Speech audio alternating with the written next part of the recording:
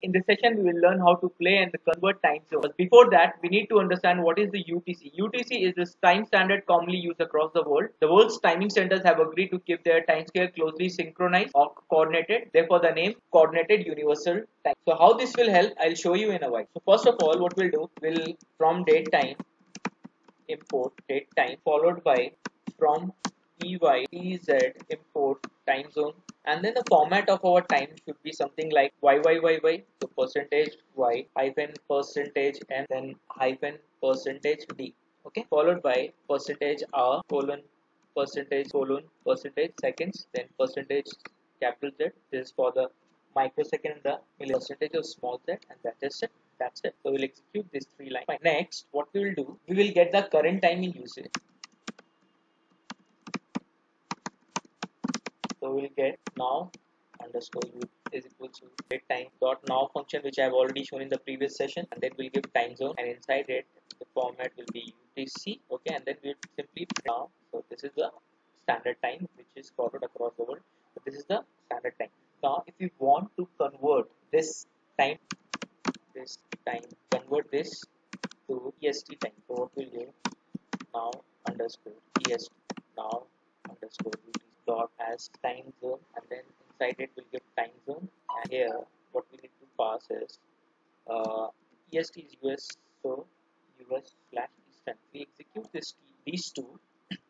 So okay we get the utc and the we, we get the est time. Now similarly we will print the time of different continents in the cities okay? We'll take a few not all of them. It will take a lot of time which won't be of much use. But in order to learn we'll so suppose we'll take for Berlin. Berlin will come under Europe slash this is the time of Berlin. Okay. Now if you want to see the time of London, copy this. London also comes under Europe. So the current time of London is this. I will check the current time of Kolkata. Kolkata comes under Asia. Now if I want to see the time of Shanghai, which also comes under Asia, and finally we will also check with Australia and Johannesburg okay? Melbourne and Johannesburg these two. And then we'll see the timings of the different cities around the world.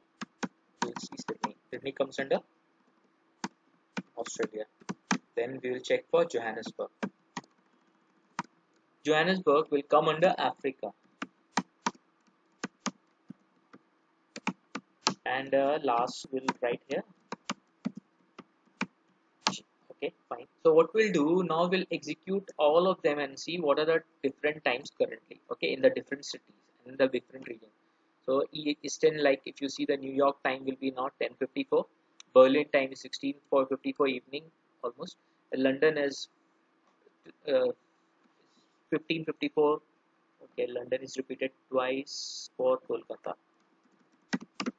We'll execute this again okay for Kolkata is around 8 uh, 824. Shanghai is around the night.